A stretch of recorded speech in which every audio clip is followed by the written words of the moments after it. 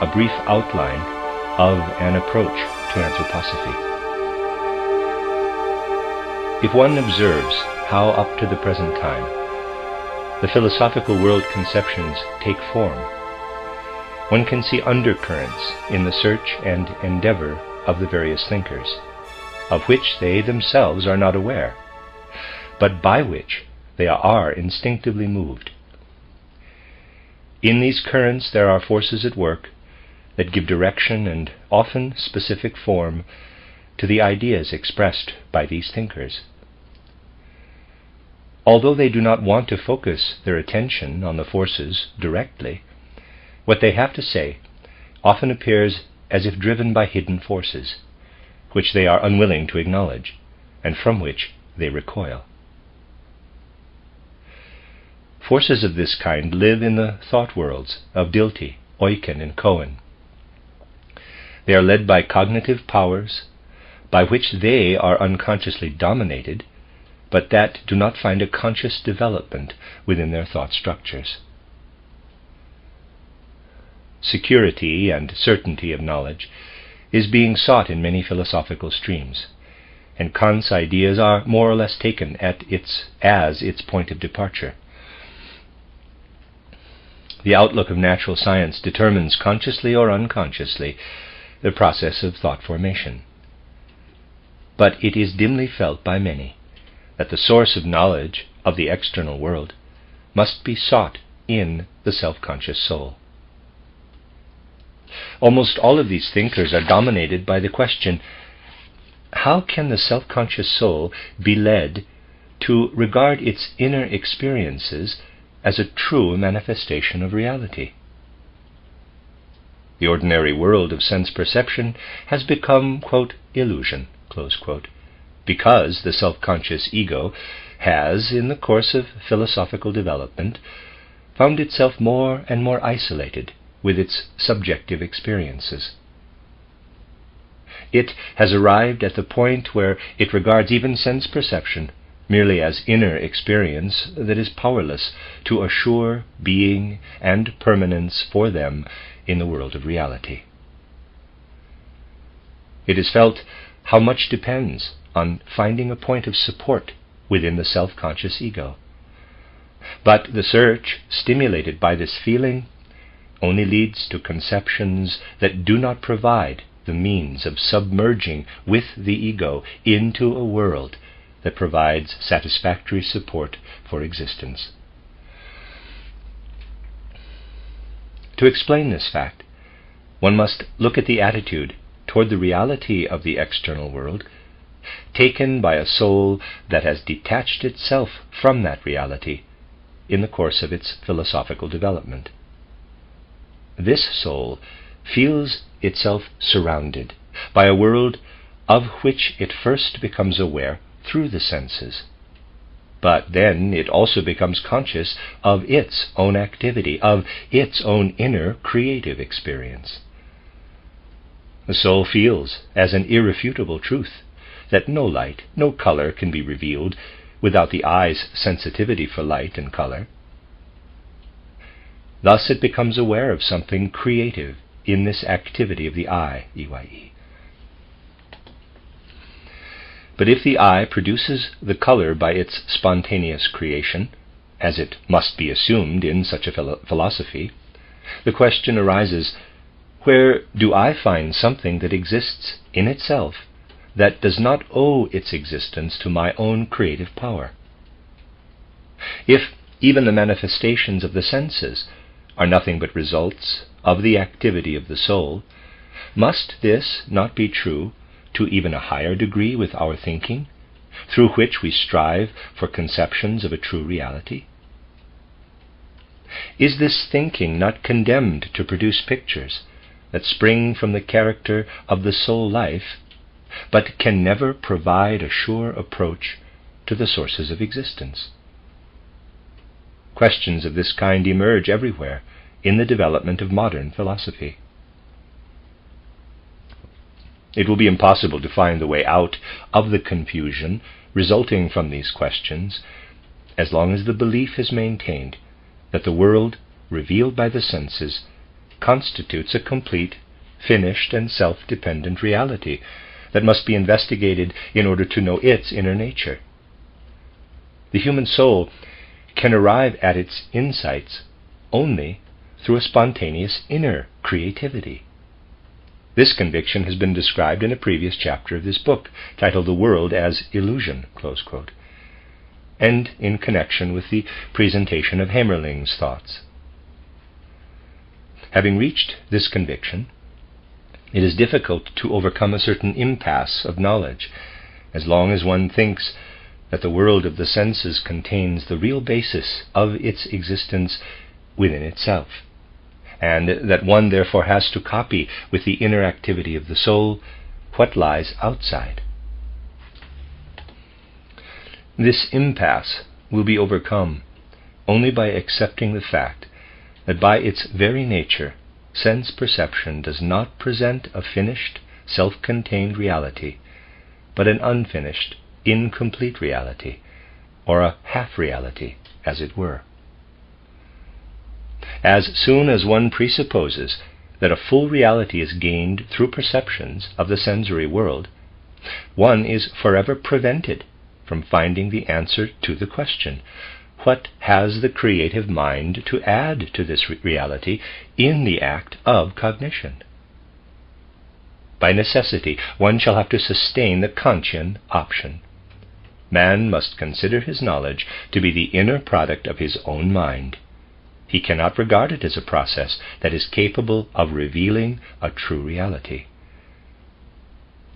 If reality lies outside the soul, then the soul cannot produce anything that corresponds to this reality, and the result is merely a product of the soul's own organization.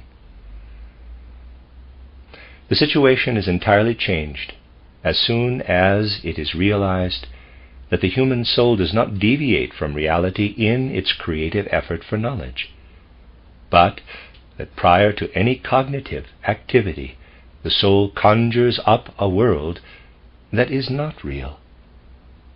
Man is so placed in the world that by the nature of his being he changes things from what they really are. Hamerling is partly right when he says, quote, Certain stimuli produce the odor within our organ of smell. The rose, therefore, has no fragrance if nobody smells it. If this, dear reader, does not seem plausible to you, if your mind stirs like a shy horse when it is confronted with this fact, do not bother to read another line. Leave this book and all others that deal with philosophical things unread, for you lack the ability that is necessary for this purpose, that is, to apprehend a fact without bias and to adhere to it in your thoughts. End of uh, quote. Compare pages 393 forward of this volume. How the sensory world appears when man is confronted with it depends without a doubt on the nature of the soul. Does it not follow then that this appearance of the world is a product of man's soul? An unbiased observation shows, however, that the unreal character of the external sense world is caused by the fact that when man is directly confronted by things of the world, he suppresses something that really belongs to them. If he unfolds a creative inner life that lifts from the depths of his soul the forces that lie dormant in them, he adds something to the part perceived by the senses, and thereby turns a half reality to its entirety. It is due to the nature of the soul that at its first contact with things, it extinguishes something that belongs to them. For this reason, things appear to the senses not as they are in reality, but as they are modified by the soul. This delusive character, or their mere appearance, is caused by the fact that the soul has deprived them of something that really belongs to them. Inasmuch as man does not merely observe things, he adds something to them in the process of knowledge that reveals their full reality. The mind does not add anything to things in the process of cognition, that would have to be considered as an unreal element, but prior to the process of knowledge, it has deprived these things of something that belongs to their true reality. It will be the task of philosophy to realize that the world accessible to man is an illusion before it is approached in the process of cognition. This process, however, leads the way toward a full understanding of reality. The knowledge that man creates during the process of cognition seems to be an inner manifestation of the soul only because he must, before the act of cognition, reject what comes from the nature of things. He cannot see at first the real nature of things when he encounters them in mere observation. In the process of knowledge, he unveils what was first concealed. If he regards as a reality what he had at first perceived, he will now realize that he has added the results of his cognitive activity to reality. As soon as he recognizes that what was apparently produced by himself has to be sought in the things themselves, that he merely failed to see it previously, he will then find that the process of knowing is a real process by which the soul progressively unites with world reality. Through it, it expands its inner isolated experience to the experience of the world. In a short work titled Truth and Science, published in 1892, the author of the present book made a first attempt to prove philosophically what has been briefly described. Perspectives are indicated in this book that are necessary to the philosophy of the present age if it is to overcome the obstacles it has encountered in its modern development. A philosophical point of view is outlined in this essay in the following words quote, The initial form in which reality confronts the ego is not its true manifestation, but the final form, which the ego fashions out of it is. The first form is altogether without significance for the objective world. It is of importance only as a basis for the processes of cognition.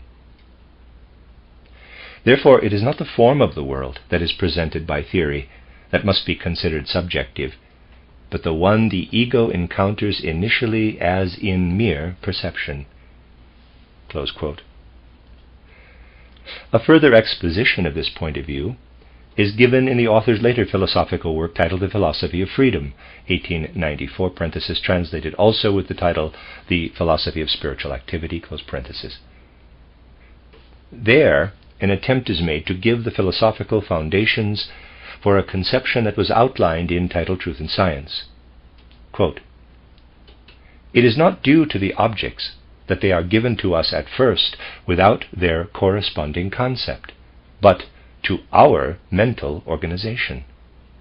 Our whole being functions in such a way that from every real thing the relevant elements come to us from two sources, from perceiving and from thinking.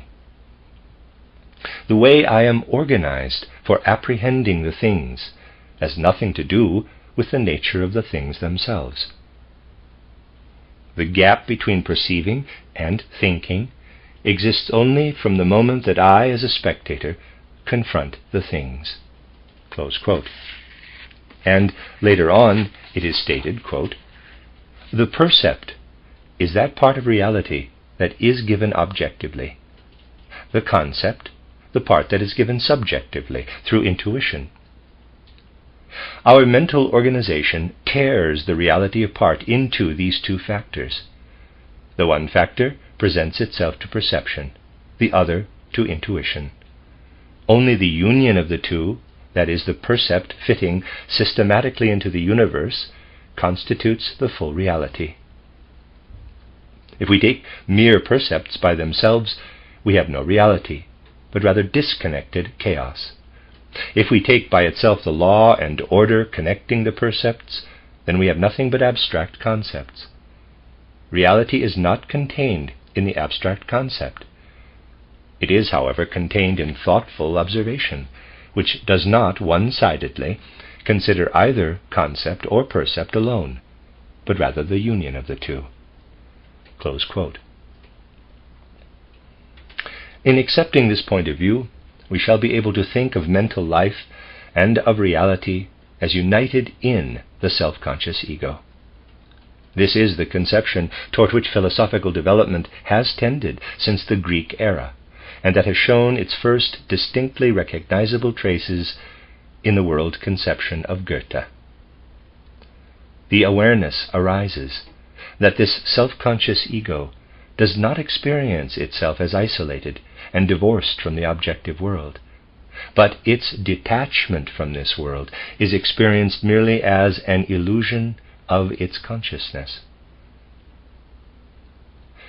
This isolation can be overcome if man gains the insight that, at a certain stage of his development, he must give a provisional form to his ego in order to suppress from his consciousness the forces that unite him with the world.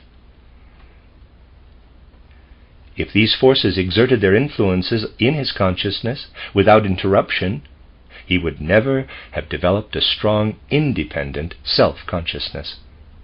He would be incapable of experiencing himself as a self conscious ego. The development of self consciousness, therefore, actually depends on the fact that the mind is given the opportunity to perceive the world without that part of reality that is extinguished by the self conscious ego prior to an act of cognition. The world forces belonging to this part of reality withdraw into obscurity in order to allow the self conscious ego to shine forth in full power.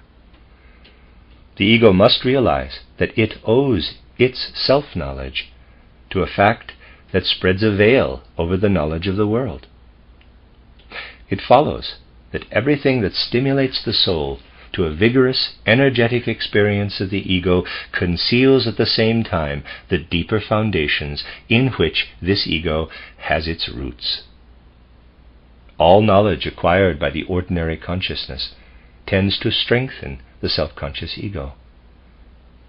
Man feels himself as a self conscious ego through the fact that he perceives an external world with his senses, that he experiences himself as being outside this external world, and that at a certain stage of scientific investigation, he feels himself in relation to this external world in such a way that it appears to him as, quote, illusion. Were it not so, the self conscious ego would not emerge. If, therefore, in the act of knowledge, one attempts merely to copy what is observed before knowledge begins, one does not arrive at a true experience of full reality, but only at an image of a quote, half reality. Once this is admitted to be the situation, one can no longer look for the answer of the riddles of philosophy within the experiences of the soul that appear on the level of ordinary consciousness. It is the function of this consciousness to strengthen the self conscious ego. To achieve this, it must cast a veil over the connection of the ego with the objective world. And it therefore cannot show how the soul is connected with the true world. This explains why a method of knowledge that applies the means of the natural scientific or similar modes of conception must always arrive at a point where its efforts break down.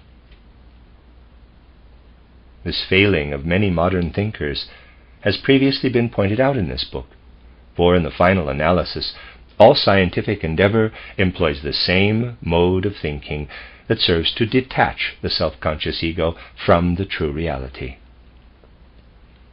The strength and greatness of modern science, especially of natural science, is based on the unrestrained application of this method. Several philosophers, such as Dilthey, Eucken, and others, direct philosophical investigation toward the self observation of the soul. But what they observe are those experiences of the soul that form the basis for the self conscious ego. Thus, they do not penetrate to the sources in which the experiences of the soul originate. These sources cannot be found where the soul first observes itself on the level of ordinary consciousness. If the soul is to reach these sources, it must go beyond this ordinary consciousness. It must experience something in itself that ordinary consciousness cannot give to it. To ordinary thinking, such an experience appears at first like sheer nonsense. The soul is to experience itself knowingly in an element without carrying its consciousness into that element. One is to transcend consciousness and yet be conscious. But in spite of all this, we shall either continue to get nowhere or we shall have to open new aspects that will reveal the above mentioned quote, absurdity quote, to be only apparently so since it really indicates the direction in which we must look for help to solve the riddles of philosophy. One will have to recognize that the path into the quote, inner region of the soul quote, must be entirely different from the one that is taken by many philosophies of modern times. As long as soul experiences are taken the way they present themselves to ordinary consciousness, one will not reach down into the depths of the soul. One will be left merely with what these depths release.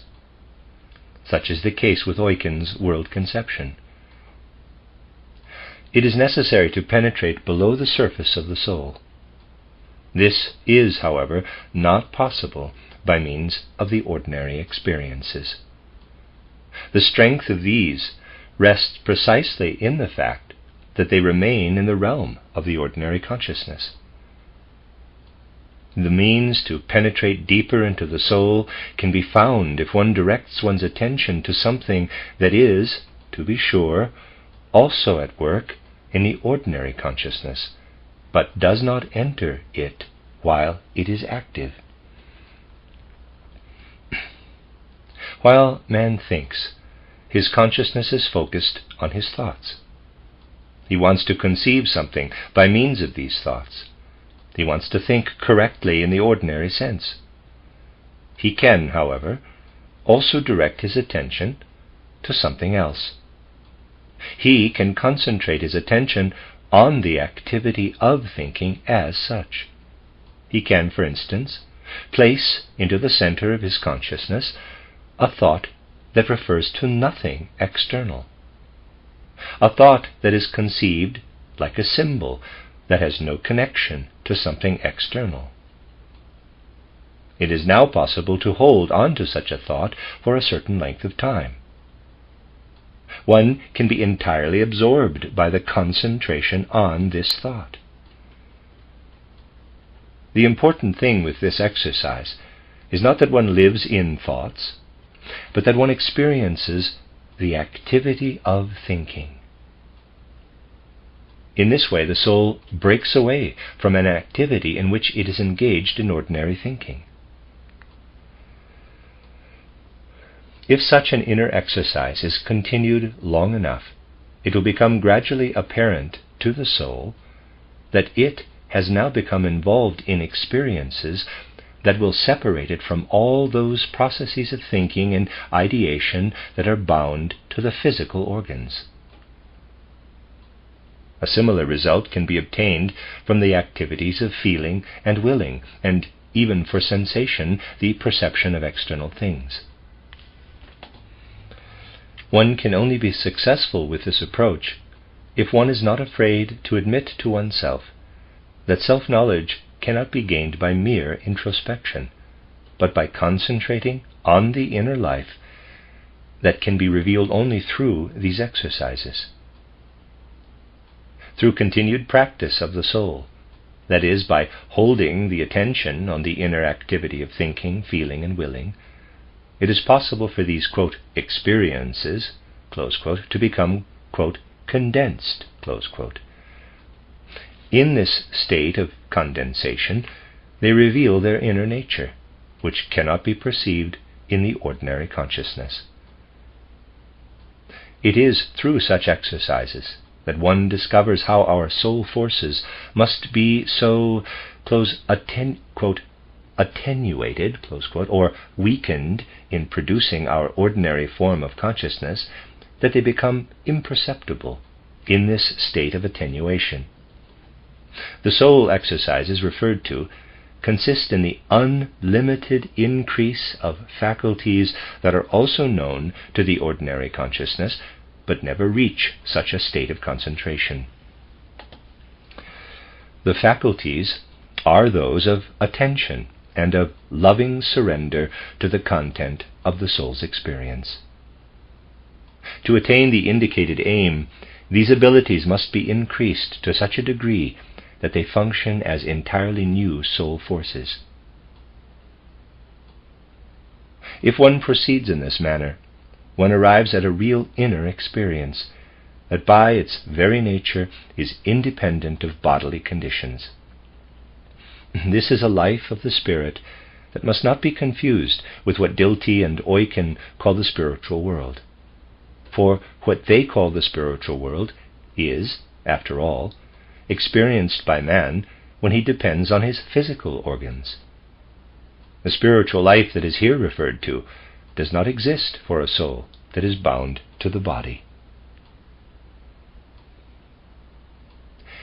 One of the first experiences that follows the attainment of this new spiritual life is a true insight into the nature of the ordinary mental life.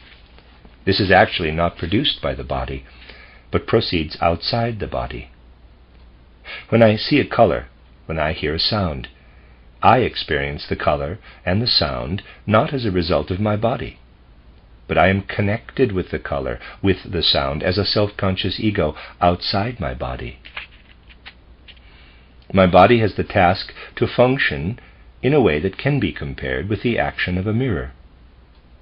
If in my ordinary consciousness I only have a mental connection with a color, I cannot perceive it because of the nature of this consciousness, just as I cannot see my own face when I look into space. But if I look into a mirror, I perceive this face as part of a body. Unless I stand in front of the mirror, I am the body and experience myself as such. Standing in front of the mirror, I perceive my body as a reflection. It is like this also with our sense perceptions, although we must, of course, be aware of the insufficiency of the analogy. I live with the color outside my body. Through the activity of my body, that is, my eye, EYE, and my nervous system, this color is transformed for me into a conscious perception. The human body is not the producer of perceptions and of mental life in general, but a mirroring device of psychic and spiritual processes that take place outside the body. Such a view places the theory of knowledge on a promising basis. In a lecture called, titled, excuse me, called The Psychological Foundations and Epistemological Position of Spiritual Science, delivered before the Philosophical Congress in Bologna on April 18, 1911, the author of this book gave the following account of a view that was then forming in his mind. Quote, On the basis of epistemology, one can reach a conception of the ego only if one does not think of it as being inside the bodily organization and as receiving impression quote, from outside. One should conceive this ego as having its being within the general order of the things themselves and regard the organization of the body merely as a sort of mirror through which the organic processes of the body reflect back to the ego what this ego perceives outside the physical body as it lives and weaves within the true essence of the world. During sleep, the mirror like relation between body and soul is interrupted. The ego lives only in the sphere of the spirit. For the ordinary consciousness, however, mental life does not exist as long as the body does not reflect the experiences. Sleep, therefore, is an unconscious process. The exercises mentioned above, and other similar ones, establish a consciousness that differs from the ordinary consciousness. In this way, the faculty is developed not merely to have purely spiritual experiences, but to strengthen these experiences to such a degree that they become spiritually perceptible without the aid of the body, and that they become reflected within themselves.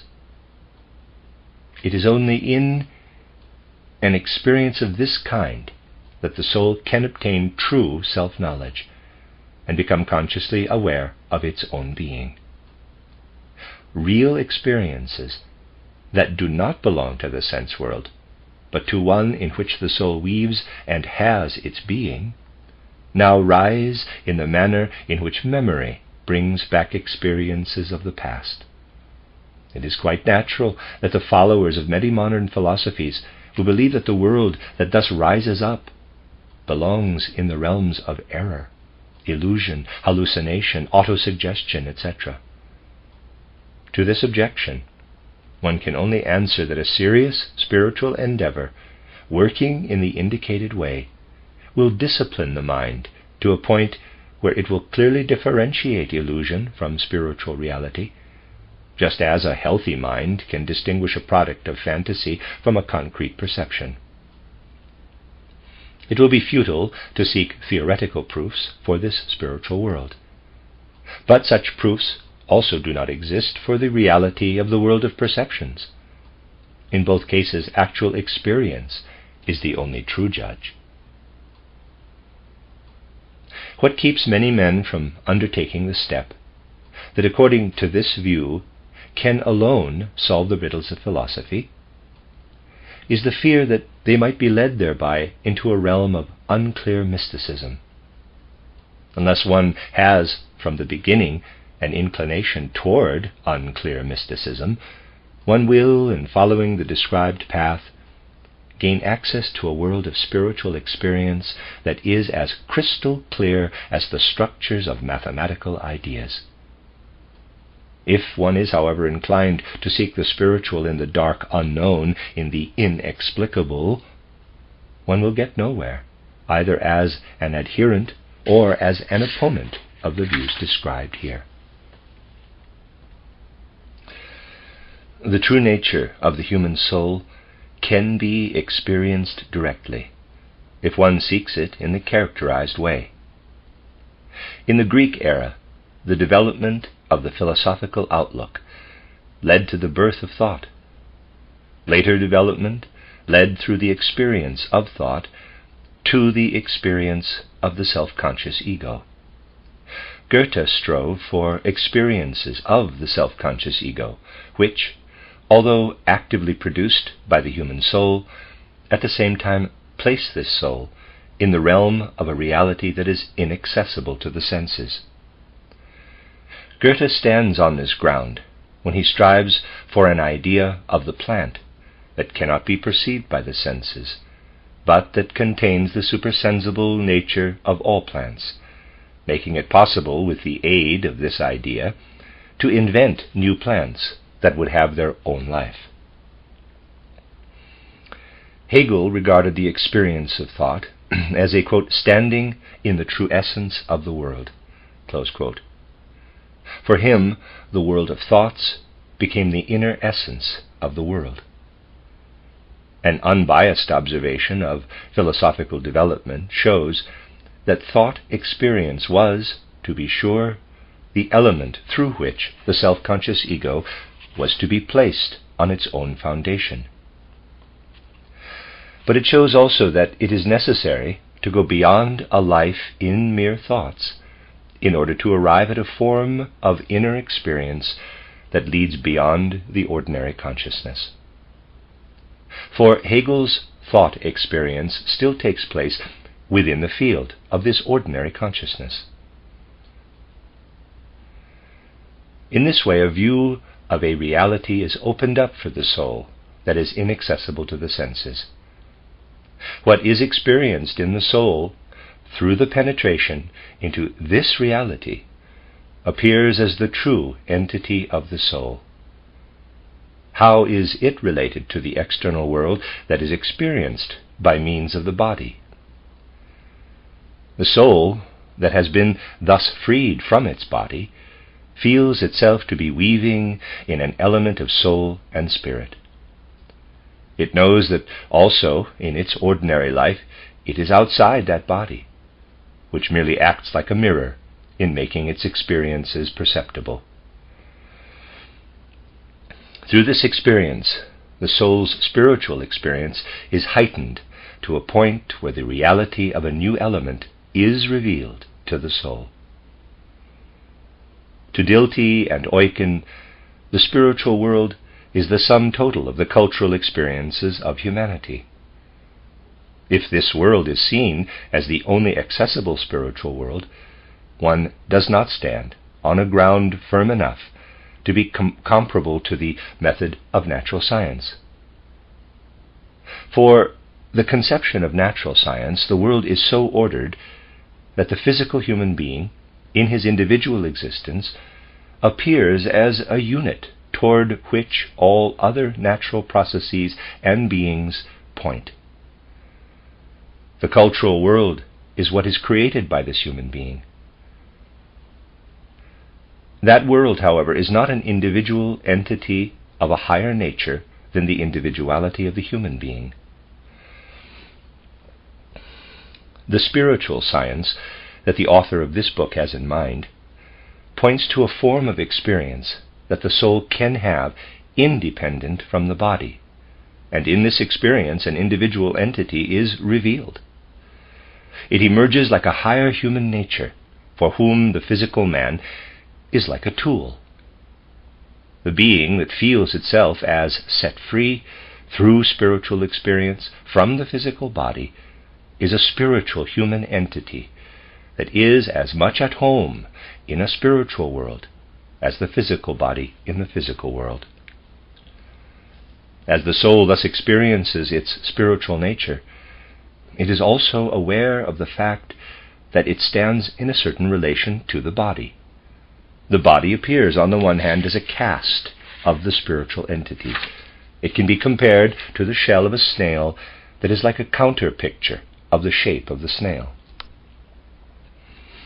On the other hand, the spirit soul entity appears in the body like the sum total of the forces in the plant, which, after it has grown into leaf and blossom, contract into the seed in order to prepare a new plant.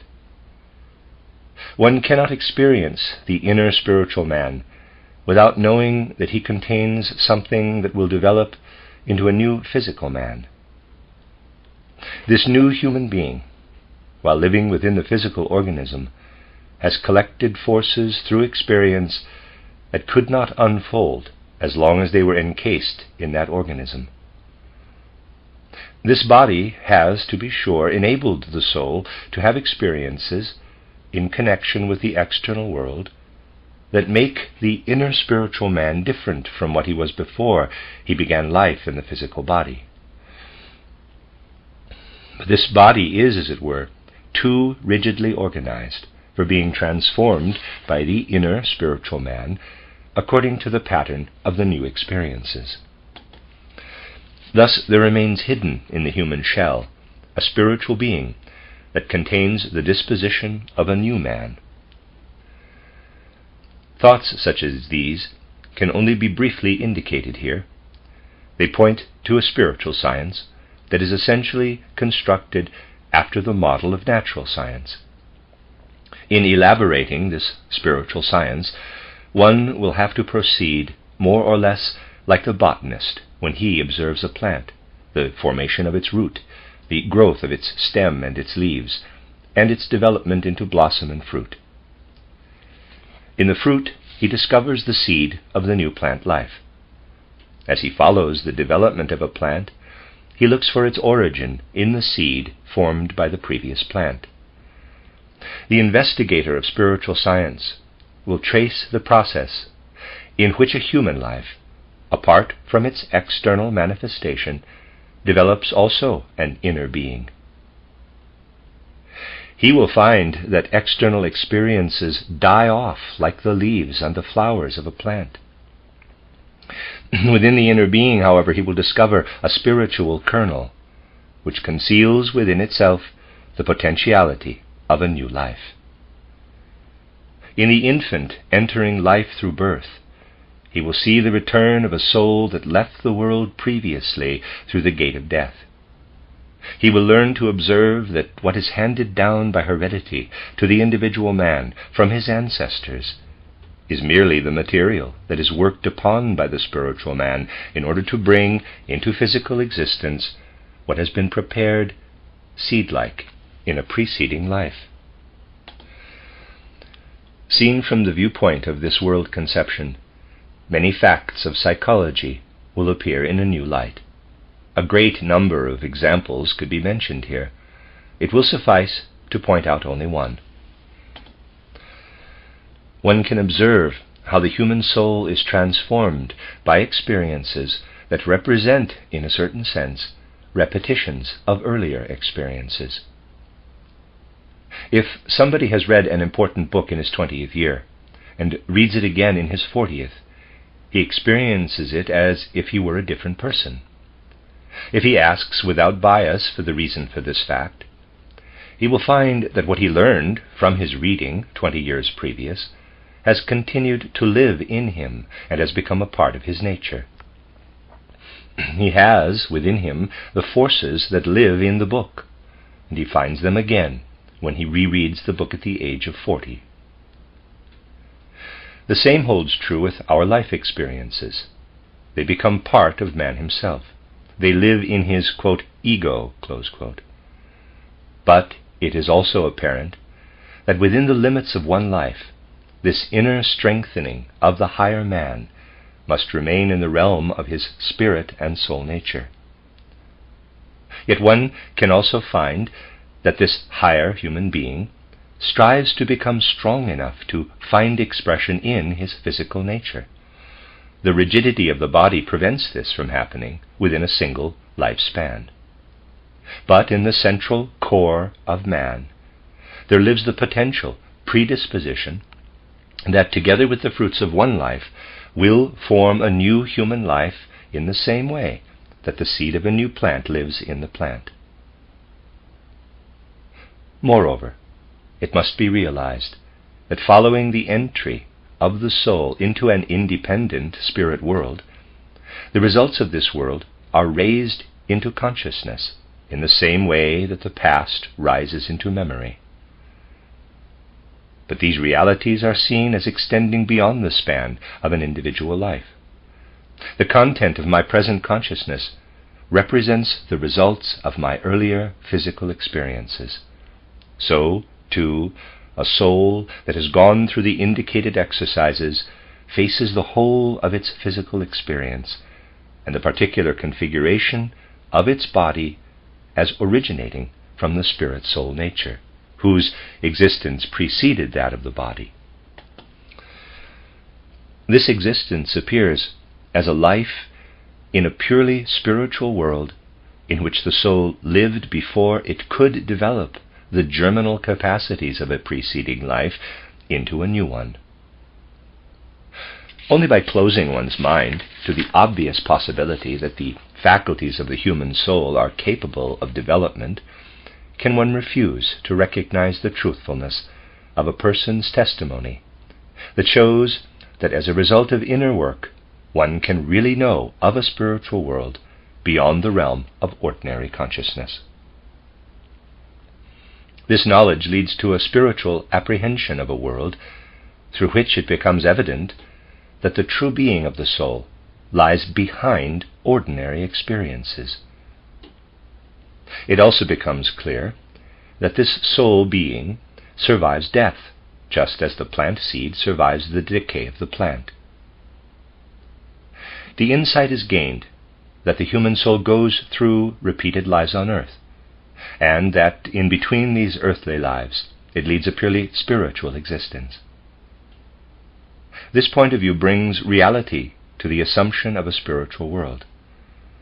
The human souls themselves carry into a later cultural epoch what they acquired in a former. One can readily observe how the inner dispositions of the soul develop if one refrains from arbitrarily ascribing this development merely to the laws of physical heredity.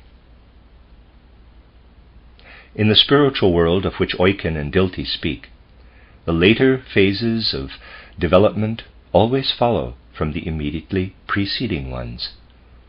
Into this sequence of events are placed human souls, who bring with them the results of their preceding lives in the form of their inner soul disposition. They must, however, acquire in a process of learning what developed in the earthly world of culture and civilization while they were in a purely spiritual state of existence. An historical account cannot do full justice to the thoughts exposed here. I would refer anyone who seeks more information to my writings on spiritual science. These writings attempted to give, in a general manner, the world conception that is outlined in the present book. Even so, I believe that it is possible to recognize from it that this world conception rests on a serious philosophical foundation. On this basis, it strives to gain access to a world that opens up to sense free observation acquired by inner work. One of the teachers of this world conception is the history of philosophy itself. It shows that the course of philosophical thought tends toward a conception that cannot be acquired in a state of ordinary consciousness. The accounts of many representative thinkers show how they attempt in various ways to comprehend the self conscious ego with the help of the ordinary consciousness. A theoretical exposition of why the means of this ordinary consciousness must lead to unsatisfactory results does not belong to an historical account.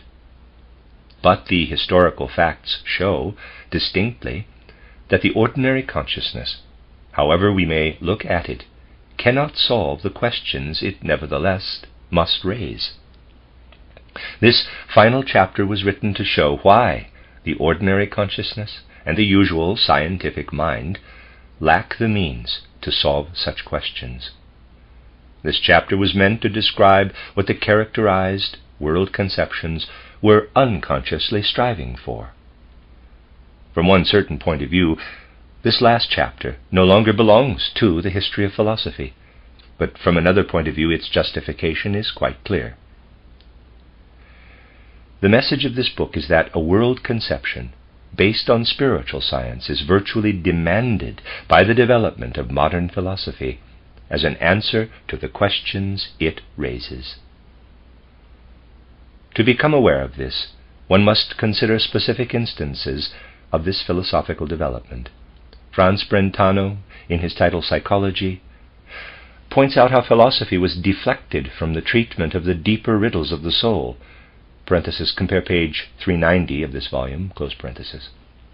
He writes, quote, Apparent as the necessity for a restriction of the field of investigation is in this direction, it is perhaps no more than only apparent.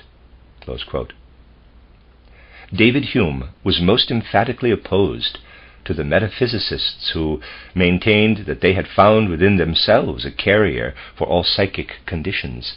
He says, quote, For my part, when I enter most intimately into what I call uh, myself, I always stumble on some particular perception or other, of heat or cold, light or shade, love or hatred, pain or pleasure. I can never catch myself at any time without a perception, and never can observe anything but perceptions. When my perceptions are removed for any time, as by sound sleep, so long am I insensible of myself, and may truly be said not to exist. From Treatise of Human Nature, Part 4, Section 6, close quote.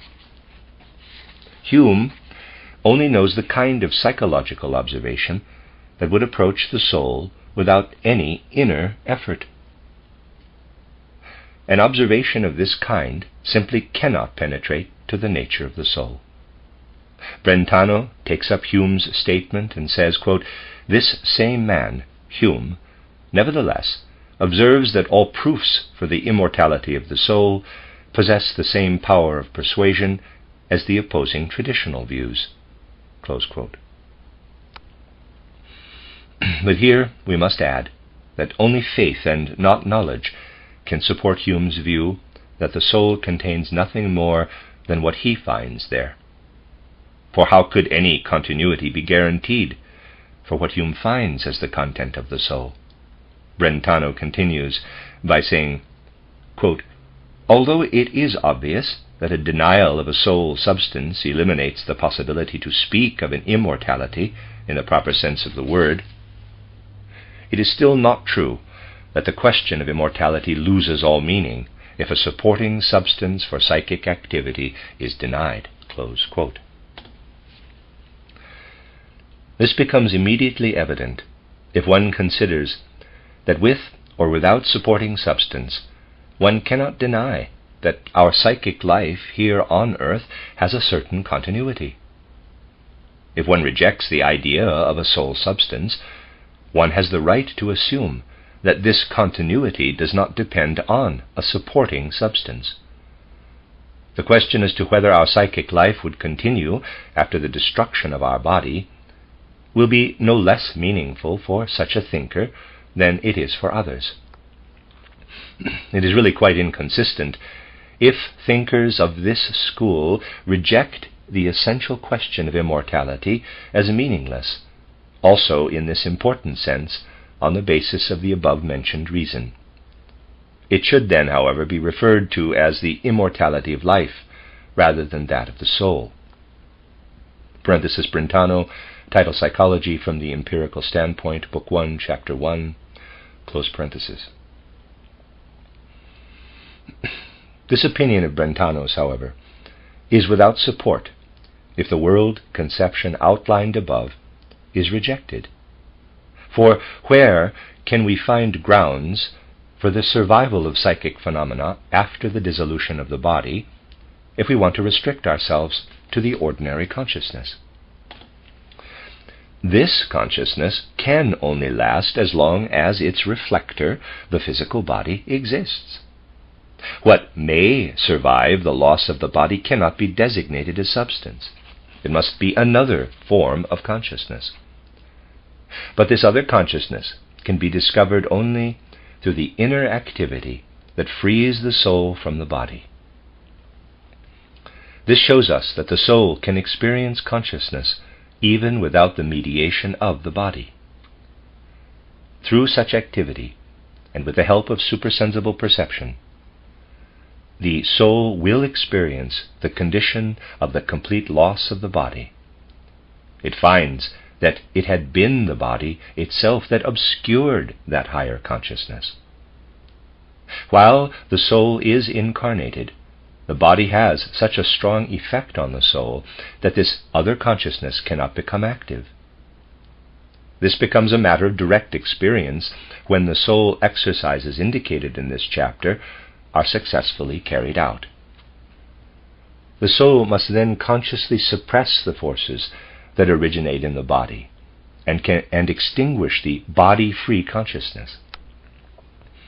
this extinction can no longer take place after the dissolution of the body. It is the other consciousness, therefore, that passes through successive lives and through the purely spiritual existence between death and birth. From this point of view, there is reference to a nebulous soul substance. In terms that are comparable to ideas of natural science, the soul is shown how it continues its existence, because in one life the seed of the next is prepared, as the seed is prepared in the plant. The present life is shown as the reason for a future life. And the true essence of what continues when death dissolves the body is brought to light. Spiritual science, as described here, nowhere contradicts the methods of modern natural science.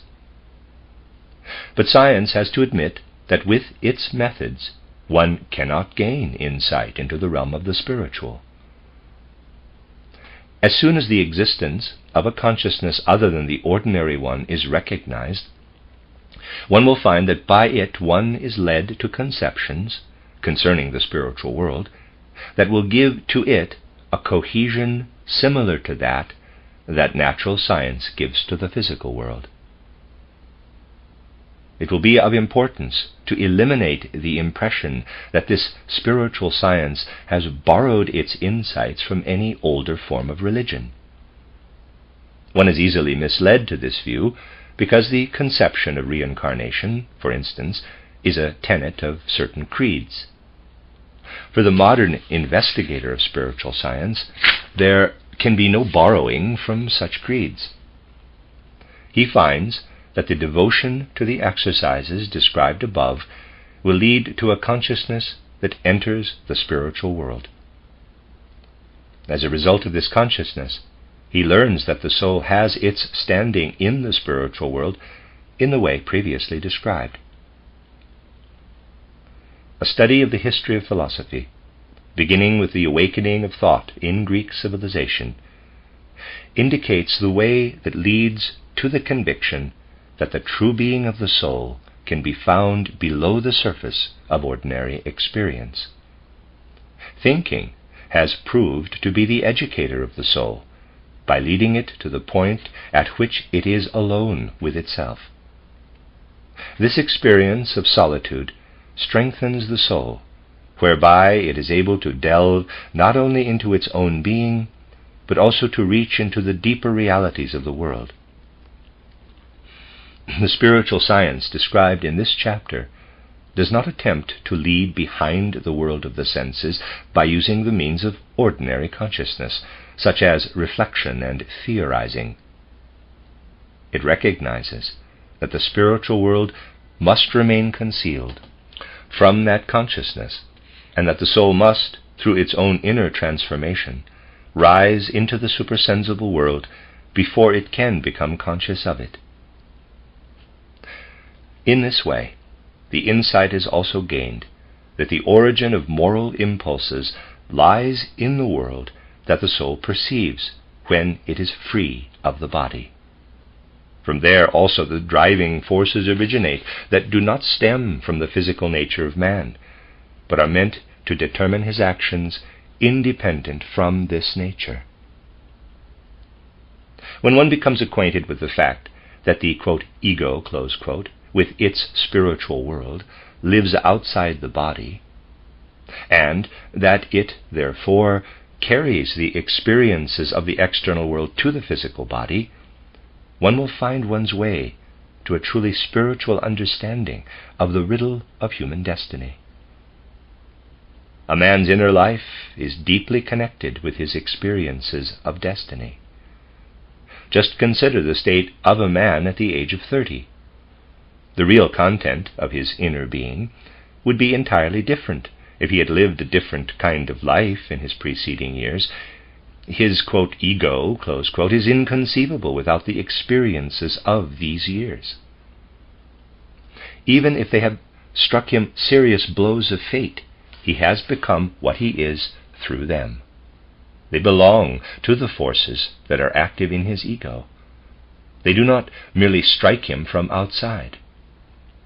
As man lives in his soul and spirit with color that is perceptible only by means of its mirror effect of the body, so he lives in union with his destiny. With color he is united in his soul life, but he can only perceive it when the body reflects it. Similarly, he becomes one with the effect of a stroke of destiny that results from a previous earth life but he experiences this blow only inasmuch as the soul plunges unconsciously into events that spring from these causes.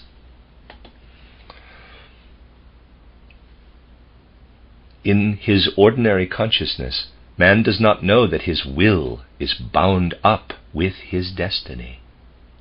In his newly acquired body free consciousness, he finds that he would be deprived of all initiative if that part of his soul that lives in the spiritual world had not willed its entire fate down to the smallest details. We see that the riddles of human destiny cannot be solved merely by theorizing about them, but only by learning to understand how the soul grows together with its fate in an experience that proceeds beyond the ordinary consciousness.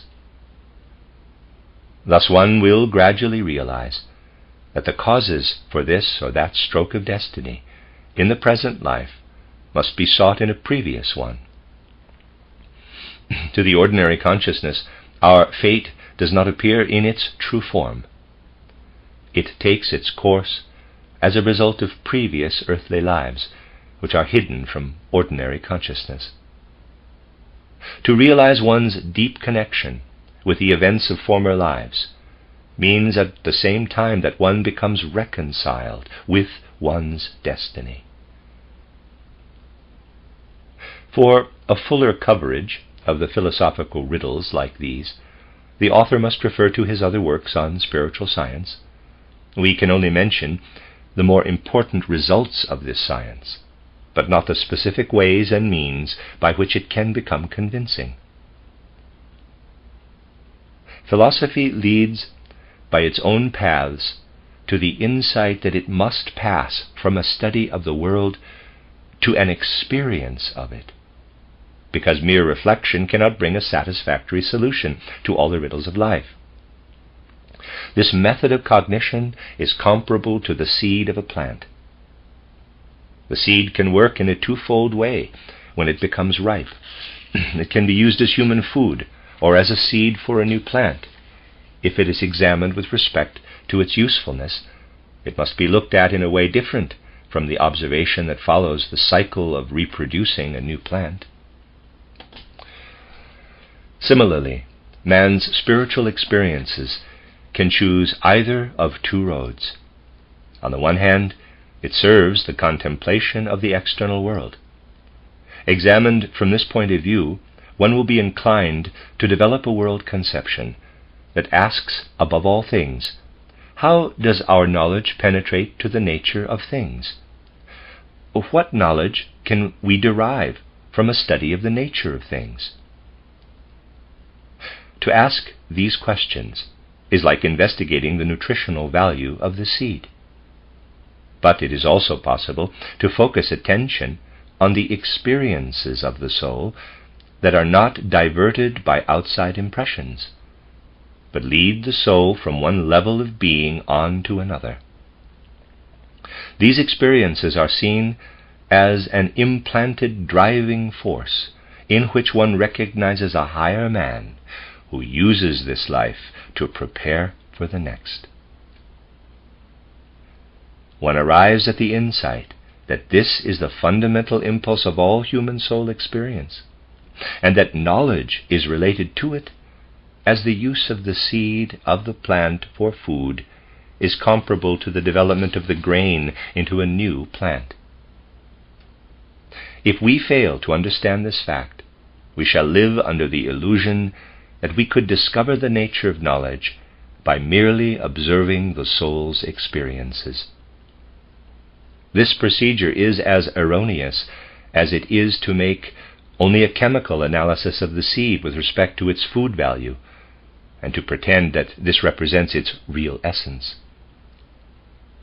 Spiritual science, as it is meant here, tries to avoid this error by revealing the inner nature of the soul's experience, and by showing that it can also serve the process of knowledge, although its true nature does not consist in this contemplative knowledge. the quote, body free soul consciousness, quote, here described, must not be confused with those enhanced mental conditions that are not acquired by means of the characterized exercises, but result from states of lower consciousness, such as unclear clairvoyance, hypnotism, etc. In these conditions, no body free consciousness can be attained, but only an abnormal connection between body and soul that differs from that of the ordinary life. Real spiritual science can be gained only when the soul finds, in the course of its own disciplined meditative work, the transition from the ordinary consciousness to one with which it awakens in and becomes directly aware of the spiritual world. This inner work consists in a heightening, not a lowering, of the ordinary consciousness. Through such inner work, the human soul can actually attain what philosophy aims for. The latter should not be underestimated, because it has not attained its objective on the paths that are usually followed by it. Far more important than the philosophical results are the forces of the soul that can be developed in the course of philosophical work. These forces must eventually lead to the point where it becomes possible to recognize a, quote, body free soul experience, Philosophers will then recognize that the, quote, world riddles, quote, must not merely be considered scientifically, but need to be experienced by the human soul. But the soul must first attain to the condition in which such an experience is possible. This brings up an obvious question. Should ordinary knowledge and scientific knowledge deny its own nature and recognize as a world conception only what is offered from a realm lying outside its own domain? As it is, the experiences of the characterized consciousness are convincing at once also to this ordinary consciousness, as long as the latter does not insist upon locking itself up within its own walls. The supersensible truths can be found only by a soul that enters into the supersensible. Once they are found, however, they can be fully understood by the ordinary consciousness, for they are in complete and necessary agreement with the knowledge that can be gained for the world of the senses.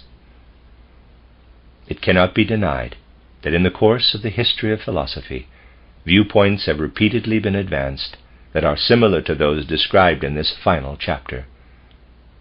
But in former ages, these tendencies appeared only like byways of the philosophical inquiry. Its first task was to work its way through everything that could be regarded as a continuation of the awakening thought experience of the Greeks. It then could point the way toward supersensible consciousness on the strength of its own initiative and in awareness of what it can and what it cannot attain. In former times, this consciousness was accepted, as it were, without philosophical justification. It was not demanded by philosophy itself. But modern philosophy demands in excuse me, but modern philosophy demands it in response to what it has achieved already without the assistance of this consciousness. Without this help, it has succeeded in leaning, leading the spiritual investigation into directions that will, if rightly developed, lead to the recognition of supersensible consciousness. That is why this final chapter did not start by describing the way in which the soul speaks of the supersensible when it stands within its realm. Quite to the contrary, an attempt was made to outline philosophically the tendencies resulting from the modern world conceptions, and it was shown how a pursuit of these innate tendencies leads the soul to the recognition of its own supersensible nature.